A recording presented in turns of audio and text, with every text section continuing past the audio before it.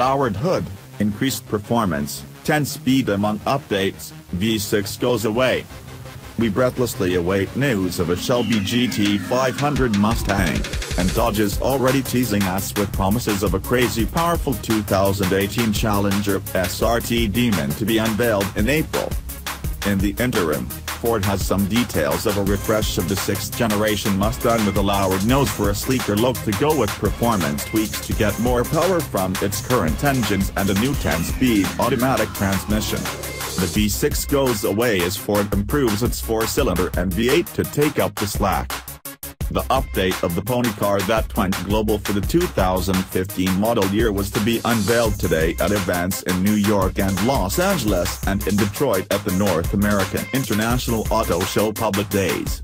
An update for the convertible will follow, but the time frame has not been given yet.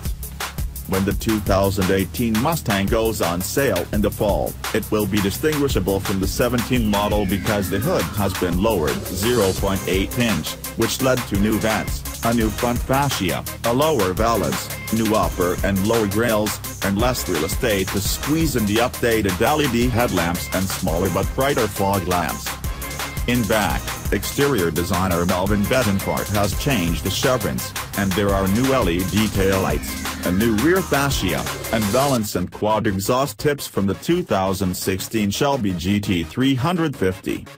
2018 Ford Mustang GT V8 Performance Pack Side. For 2018 there are 11 colors, including three new ones, Orange Fury, Royal Crimson, and the return of the popular Kona Blue, as well as the return of the White Stripe. And there are 12 wheels to choose from, ranging in size from 18 to 20 inches, a variety that includes black, bright, and machined in black. It has been a while since Ford offered a forged wheel for a different look. You like spoilers? There are four to choose from.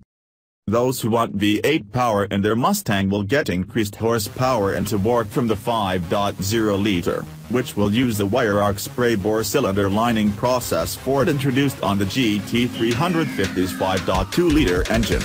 Volume application of the spray bore technology was first talked about earlier this month when Ford showed updates to the 2018 Ford F-150 with the same engine. It will be tuned differently for the Mustang. Ford is not supplying actual performance figures until closer to the fall sale date but promises improved power and fuel economy. The Mustang also has a different exhaust manifold, Chief Engineer Carl Widmann said, and the new optional active valve exhaust system allows you to max the sound of the throaty V8 on the Mustang GT. Look for more torque and better acceleration at full throttle with a 2.3-liter four-cylinder engine, as well, Widmann said, noting the 10-speed transmission can better deliver torque to the rear axle.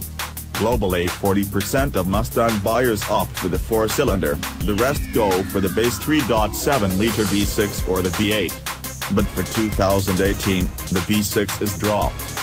In addition to the quick-shifting 10-speed automatic, the 6-speed manual transmission now has a twin-disc clutch and dual-mass flywheel, borrowing the tech from the GT350. And the 2018 model rides on new mounted shocks. 2018 Ford Mustang GT V8 Performance Pack Digital Instrument Cluster. There is a new Michelin Performance tire as part of the GT Performance Pack, and Ford is offering the MagRide damper system from the 16 Shelby and making it available even on a base Mustang for 2018. The car has a new cross-axis joint in the rear suspension for more lateral stiffness. Performance packs will be available even with the base car and with either engine. Customers can mix and match. For example, they can order a cloth interior but Brembo brakes. To present more data, the 12.0-inch digital instrument cluster can be customized. You can choose between normal, sport and track view or set your performance shift indicator to a track or drag style presentation with a Christmas tree. Track apps now show more detail, such as lap times for your entire track session. Other interior upgrades include a heated leather steering wheel, a leather-wrapped center console, a nice use of aluminum in rings and bezels, and new appliques to enhance the premium feel. We like the extra padding on the knee bolsters for those who like to toss their Mustang around. Out.